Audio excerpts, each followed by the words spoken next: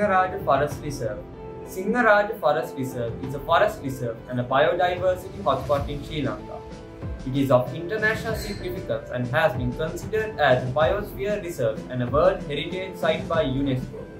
According to the International Union for the Conservation of Nature, Sinharaja is the country's last viable area of a tropical rainforest. More than 60% of the trees are endemic and many of them are considered rare. 50% of Sri Lanka's endemic animal species live there. It is home to 95% of endemic birds.